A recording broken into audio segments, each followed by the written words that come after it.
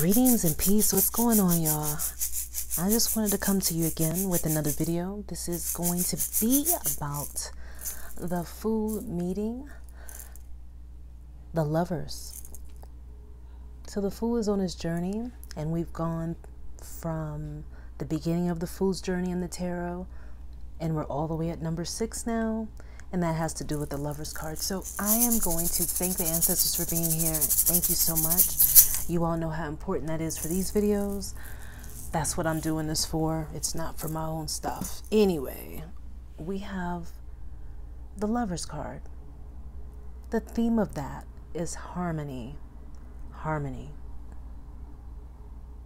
Two people, blessings from the heavens, so to speak. Higher consciousness, higher. Two people coming together with the energy of a higher knowing that is there blessing them. So this card does symbolize like deep spiritual connection. It also signifies a type of partnership and even unions. For some people, it's not romantic at all. It's not having to do with, per se, love or a love affair or anything like that that has to do with romance and stuff, but instead, different types of relationships, as in business, uh, personal relationships, and partnerships are a very delicate thing, but all of them, you know, they have their own place. But there will be one on one a lot of times. But other times you may find that this lovers, the lovers card signifies coming together to a group, um, getting a new pet. Um, sometimes it could be a child or an incident that's very important or a very big event uh, that has to do with something that's love oriented, passion oriented, something that you need to connect with and harmonize with. So then you have to see here with this card, it has to do with choices. Like several choices, more than one choice a lot of times. And it's asking you to look at the authenticity of the other thing that you're looking at, even if it is yourself. How authentic is it? You know, how much are you loving it? Because everything is a mirror of ourselves. The Lover's card reminds you that what you're looking at is a mirror of you. So if there's something that you seek, you have to come with it first, embody it first. It'll automatically be blessed because like attracts like. Now, the other thing is could be um, what you need to see is what is going to be seen in the other person or in yourself. You, you're going to see it, and you can make a decision based on what you see or not. That is always something that's in our control, is having that. What are you learning? Why are you? How are you going to grow? A lot of times you can't see that, but with the Lover's card how can you make a relationship stronger? How can you make yourself stronger so the relationship can possibly grow stronger? What are you learning about yourself when you're interacting with this partner or this other half? So, again, harmony has to do with the energy of the lovers. And the other thing about it that you can definitely bet is that when you feel the energy of the lover's card, you'll feel like you're in bliss and, and um, just a beautiful place, the most beautiful paradise. That's the energy of it. An angel is over the whole thing here, which is looking down. And it is not going to stop either of them from making any sort of choices, but it's there just to be witness to it. That's about it. You have to make your own choice. That's why the eyes of the two people are open and the angel's eyes are closed. Spirit, your spirit guides, you know, they are there for assistance, but they can only intervene as we ask, as we um, declare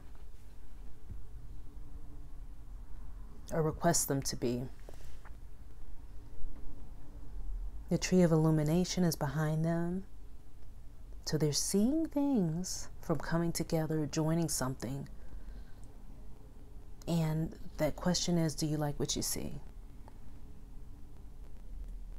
There's a deep longing for something that has come along for one person. For the other, they may feel like they aren't ready for this union event. They may not be ready for pairing up with anything. The last thing I want to talk about is infatuation and true love. That energy, also, um, when you're dealing with the lover's card, you really have to check what you call love.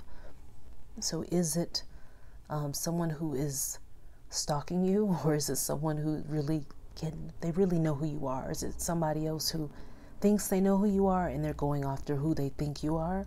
Or is it someone who really knows you, like to the core? The other thing about the lovers is they want to they want to know each other close. They want to come together. They want to know each other. That's why the peak is here. There is a, a wanting to come together. So for some people, this could be um, a significator of wanting to come together and be more of a whole one being of yourself. You may have learned how to do that better, harmonize the different parts of you into one. And you're even more beautiful to look at on the outside for the world. And that's a blessing. Anyway, that was the lover's card. Besides, here's my other notes. Let me read those. We've got finding balance, um, something that seems to complete you is the lover's card, also. Something that completes you. This is about one person and whomever has the passion of love and experience. It can be a person or an endeavor, also, or a goal. This lover's card is about the feeling inside that allows you to know something with absolute certainty. Okay? And the instinctual drive that we create within ourselves, especially when we find something that we connect with and feel harmony with or a resonance with. Mysterious desires is also, the lovers could be that as well. And falling in love with someone it can be finding a your a new pet, you know, something that you just connect with and you feel really connected to via your heart.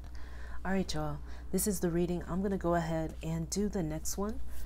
See you in the next video. Definitely check out the playlist to listen to the rest of the readings and the beginning of the the Fool's Journey. If you don't want to listen to all the cards individually, I did talk about each one just in one video. All right. Peace. Thanks. I just want to be as thorough as possible. And of course, as I was usually saying, your host is me, Queen Sereda. Website is naturallyhighlife.com. On Instagram, I'm Queen Sereda. And I'm so happy to be here to connect with you all. And this is so helpful for all of us. I mean, yeah. I'll talk to you later.